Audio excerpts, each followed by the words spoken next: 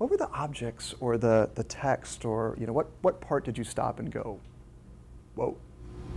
I thought that the map, the to scale of his entire plantation in the back was really, really In that interesting. second room there? Yeah. What, what was it that, that kind uh, Well, there are two parts. One, um, obviously, his house is so built on that hill, it's almost like on a mountain, compared with his farmlands. I thought that's interesting, Yeah. management wise. He's got kind of like a little town up Yeah. near his house, and yet he's got these dispersed um, houses throughout like the farmlands. And then I started thinking, did he give his slaves who lived in those farmhouses somewhat of an autonomy as they were That's really- farming those areas? Because his house was miles away, you know, on top. Um, so, Mulberry Row, I think, is very important. It's a 1,300 foot uh, space on the northeastern side of uh, the, the house. Uh, if this is Monticello here, uh, and this is um, um, the, the north here, uh, and this is the east, here is, here is Mulberry Row. Somewhere around 20 homes is what it had on it, domestic spaces, as well as uh, there was a nailery, there was a blacksmith shop, there was a textile um, uh, shop, there were domestic houses, uh, dairy. You, you either worked as a domestic, you either worked as a tradesman or a craftsman, or you worked in the fields. Generally, those were the three areas. Mulberry Row became a real proving ground to determine which one of those might be your fate. Mulberry Row, between 12 and 16, Jefferson would engage them in work, males and females, at Mulberry Row. And he would use that to make some determination about where the aptitudes were and where he would then assign uh, those who he had working there. And then he uh, bought a variety of people from around the country and even outside of the country, Scottish uh, tradesmen and craftsmen, to teach the enslaved at Monticello a variety of the skills. Uh, so a variety of those um, were sort of um, determined based on the experience at Mulberry Row. and then how is the other way that you encountered, um, you know, enslaved uh, people at Monticello? through their lineage. Okay, whose? I mean, Well, the most famous would be the Hemings. Mm-hmm. There was um, The Grangers. Grangers, right, Fossett's. that second part of the exhibit, are the six families? That struck me as another choice. You know, how, what are we going to do? And instead of trying to cover all 600, they made this choice about we'll pick six. One well known and maybe some that are less well known, but we'll really focus on that, you know, just on those families' experiences. Now, these families.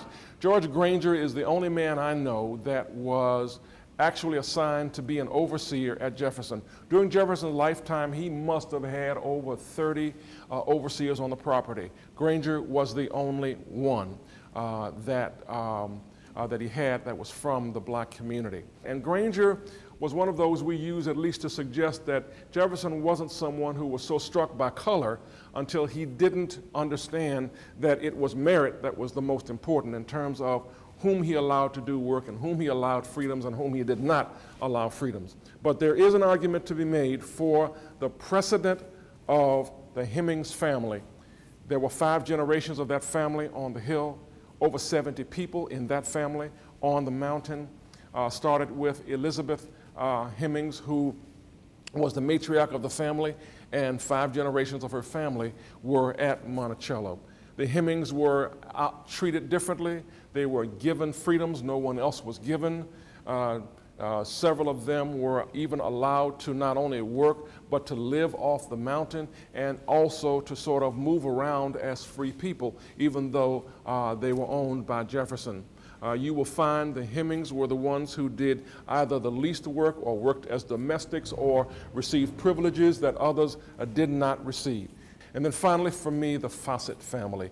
Uh, and they were also Hemings, but um, they were the grandson, uh, Joseph Fossett was the grandson of Elizabeth.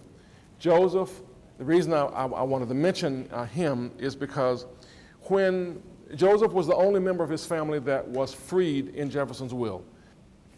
Uh, he set uh, Fossett free, but Fossett was not free at the time that the auction took place. So he could not bid on his family. He watched his family being sold away. But he also knew some folk in Albemarle County that he had done business with. So he made uh, uh, uh, requests of them that they purchase members of his family.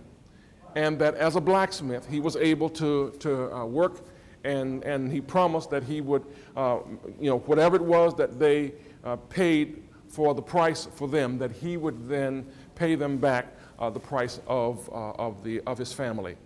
Somewhere in 1837, he purchased five of his children and four of his grandchildren, and they all moved back to, them all moved to uh, Ohio. the Hemings family, there were like these really nice pots, like from France. And um, I just thought that really helped paint the complex picture of Jefferson. Right. Yeah, and I thought that I enjoyed learning about the families. It was interesting to see the different dynamic that that plantation would have had than a lot of others. But I thought too, it kind of focused on the fact that these were his most skilled slaves. They have the chair that the one person Right. built. I know we had a trained French chef on his, as a slave. I mean, that's not normal. You get to know those, those six families really well, but at the same time, you, you lose sight of all these people. Um, a- and that's a, that's a trade off. Do you want them to, to learn a couple of people's experience really deeply? Or do you want them to get a bigger sense of you know, the, whole, the, the whole enormity of uh, uh, the operation?